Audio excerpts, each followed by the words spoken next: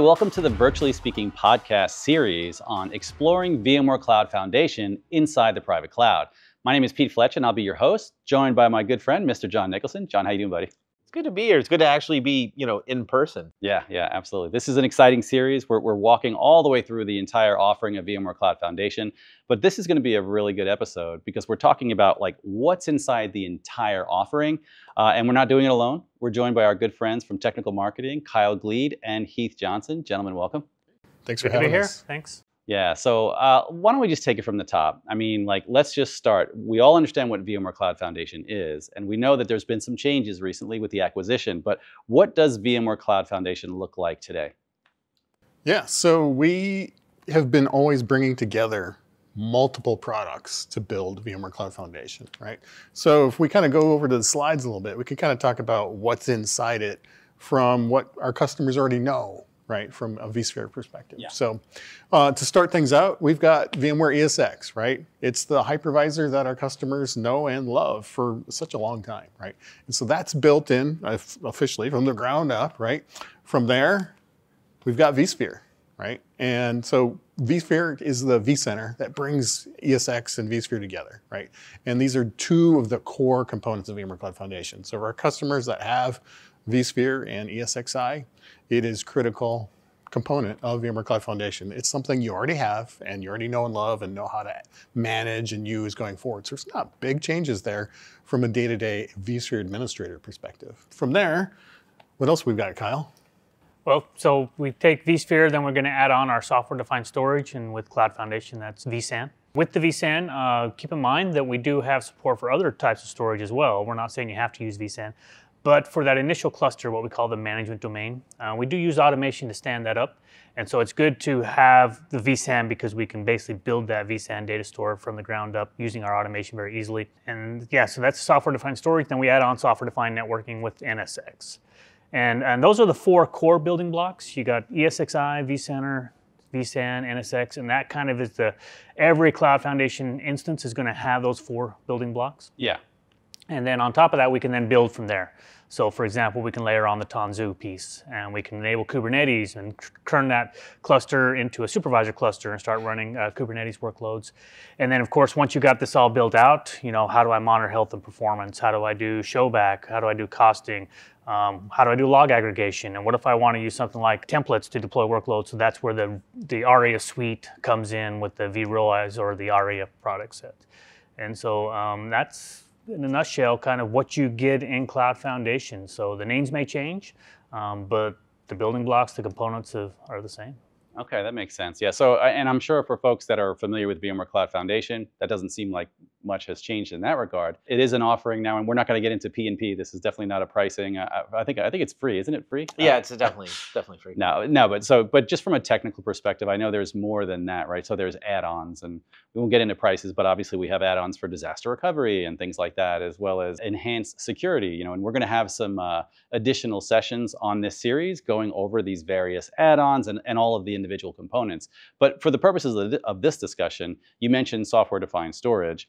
Um, and you mentioned uh, using vSAN as well as other storage. Um, for the workload domain, there's a choice, but for the management domain, you mentioned it's it's going to be just vSAN, correct? Yeah. So and and it's good to understand the kind of the difference between the workload domain, uh, the VI, the virtual infrastructure workload domain, and the management domain. Uh, the management domain is that first uh, instance, that first vSphere instance that we stand up, and its significance is that that's where we're going to host all the vCenter servers, all the NSX managers, and that kind of instantiates our uh, what will become the core of our private cloud, and that's where the SDDC manager is going to run. And the SDDC manager is that automation component that's going to drive a lot of the automation in terms of how we provision clusters and how we resize clusters and how we deploy NSX edge clusters.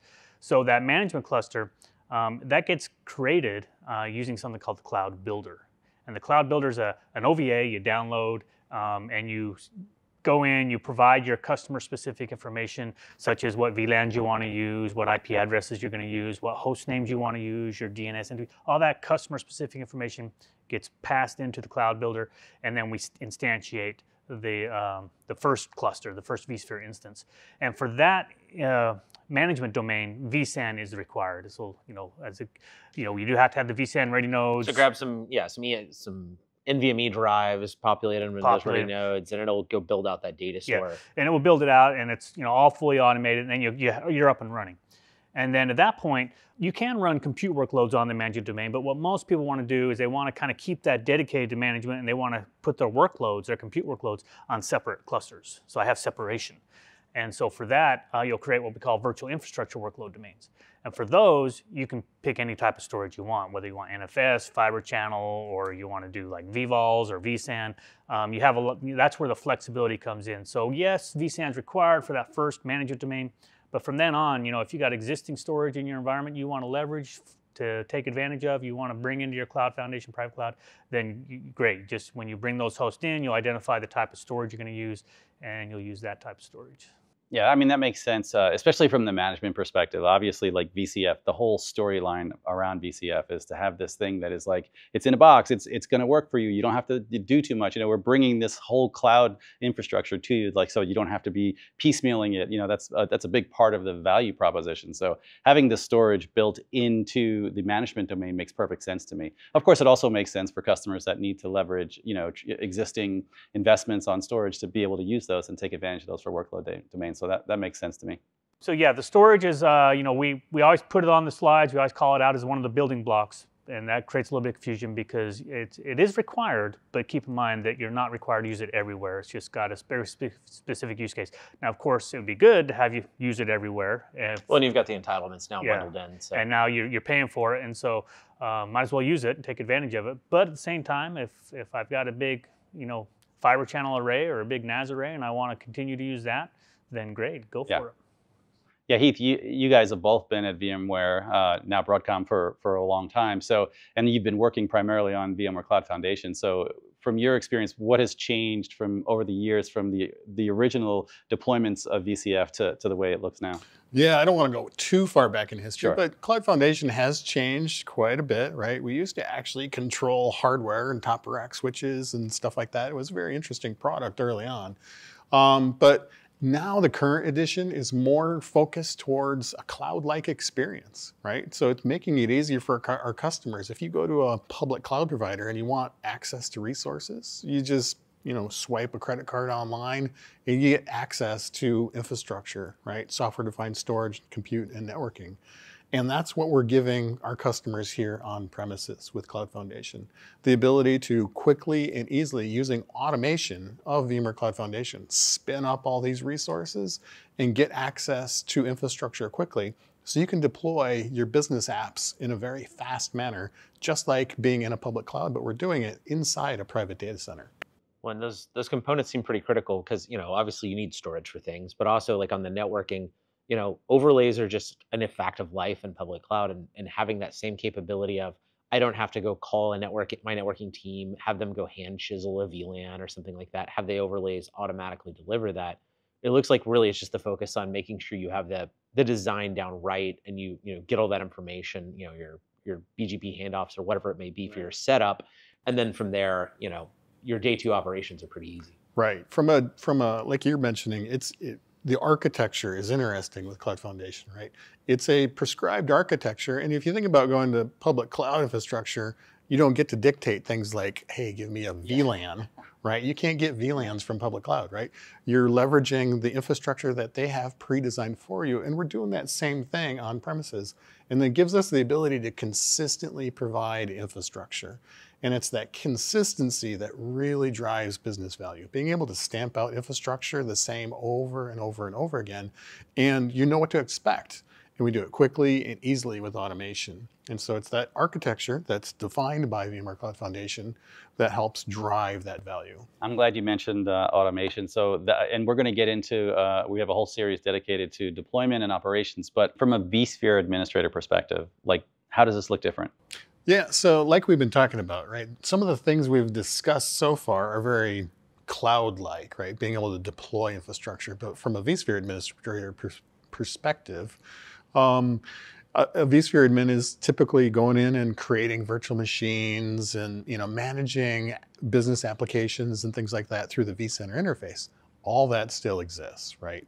So we've the conversation of VMware Cloud Foundation really just moves up another level to help you deploy and manage infrastructure at a cloud level inside your private data center. All those typical things that you've been doing from a day-to-day perspective for managing those application virtual machines still exist. You're still a vSphere administrator.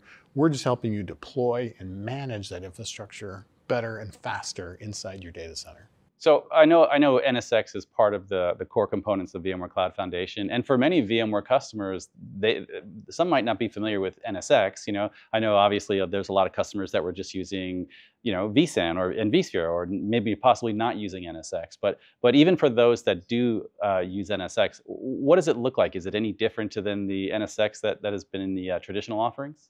Yeah, so the NSX is, is just NSX. I mean, whether you stand it up uh, yourself or as part of just a, an NSX fabric or whether you do it as part of Cloud Foundation, um, it's the same NSX product. There's not a different version of NSX that we bundle. What's significant is we were just talking about the SDDC manager and the automation it provides.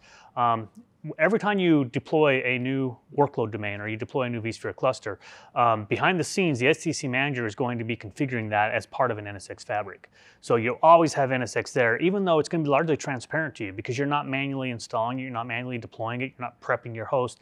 You just create a workload domain, you go in and you connect to NSX manager and it's there and it's, and it's ready for you. The NSX is there. Um, there's also additional tie-ins to help, you know, when I first started working with NSX, it was like a big learning curve. I was like, wow, this is a, a lot for to learn. And I struggled with some of the things like edge clusters and, and TEP networks and overlays. Um, but when I got the SDDC manager and the automation, it became kind of like a crutch and it helped me because suddenly I just go through, I deploy it and it's already up and running and I can go back into the UI and I can click around and say, oh, this is how they set it up. Oh, this is what that is. Okay. And so, and it made it very easy. And so now when I go in and I start looking at overlay networks and I start looking at how to design, like for example, if I want to do Tanzu, on top of my vSphere clusters. I enable supervisor cluster. I have NSX. I use the, it goes out with the NSX container plugin, sets everything up, and I'm up and running with Tanzu on NSX with logical networks. And so breaking down some of this, you know, you mentioned how as you add each workload domain, you're doing that. What are some of the reasons that these workload domains would be created and why do we need that segmentation? Is this for tenancy? What is that model? So Tenancy is one option. We, we have a couple of options. Um, you can deploy your workload domains in a ring and, uh, with enhanced link mode. And so you would do that, like an enterprise might do that if I have maybe five or six different clusters and I want to have a single pane of glass. I can use that enhanced link mode and uh, give me that, that central management point. Um, you can also deploy isolated, which means every uh, workload domain, their vCenter server have its own SSO domain, which gives you some multi-tenancy. Some other things to factor into that is um, when it comes to patch windows and how you do lifecycle management. If I have multiple workload domains, I'm going to have to apply updates multiple times sure. because each workload domain's got its own vCenter server, its own vSphere cluster. But I might want that. Say I have a VDI environment where I'm willing to take a little risk and run a right. newer code train sooner versus my core ERP, you know, or manufacturing process. There may be windows of the year that I can't do major patching on or right and one of the new features we added in the latest versions of cloud foundation is this idea of being able to uh, support having different workload domains run at different levels for example i might want to be running 5.0 and i might want to upgrade my vdi to 5.1 but i might want to keep my my tanzu environment down to 5.0 for or a, have a test longer, and a pro- yeah. or for a test or a prod so um, I think it's the other way around because you know those DevOps hipsters, man. They want to be on the yeah, latest, they want to be on the leading, latest, bleeding. They're going to be on the latest one. yeah, my, my Docker image is always set to latest. Yeah, but uh, So multi-tenancy is one. You can uh, get a, a, pretty good degree of multi-tenancy by separating workload domains with separate SSO domains. Is there like an availability zone type option with this, or is that more just with different clusters? I might segment them at a physical level. So like for availability zones, we do have support for like stretch clusters. Oh, okay. So can, I can span data centers. You can span across uh, availability zones across data centers, and uh, you can actually even go further if you want to have like a, a BCDR solution where you use vSphere replication with SRM and set it up. Uh, if you follow the VMware validation validated solutions, the way we deploy ARIA Suite in the VMware Validated Solutions is a dual region BCDR solution. And we also have this. So we do have the concept of being able to take a a, a, workload domain, a cluster in a workload domain, and stretch it across availability zones, part of stretch vSphere cluster. Um, or do so I could also have that network though, like you said, for the the business continuity disaster recovery, the BCDR piece. That doesn't have to be five milliseconds away. That could be you know from here to Arizona or something. Correct. Then, Asynchronous. And, yeah. And then I use you know VMware Live Recovery, you know formerly SRM, to replicate those virtual machines over, and the networks are now replicated right. over. So when stuff comes on, the VMs aren't wondering where their broadcast domain is. So that's that's pretty handy of being able to simplify that disaster recovery by doing the overlay networking, you know, which the deployment and the stand up becomes really easy this way. Yeah, and with that, when you fail over, like if I'm doing overlay networking and I fail something over, I don't have to change IP addresses because I'm using this layer two network here, using layer two network here. When it comes over, I just update my gateway to point to the new site, and the VM doesn't not even aware that hey, I was replicated and came up because I'm the same IP address, same personality. That's the way it should be. Absolutely. Well, gentlemen, um, I'm going to cut it short for this episode. This is just a brief overview of sort of what's inside the box. I'm looking forward to this series. It's going to be, you know, 10 or so episodes just walking through the various components, uh, including actually day zero to day two operations, which we'll be having you guys back on that one. Looking forward to it. Heath, Kyle, thanks for joining us. Thank you. Glad to be here. All right.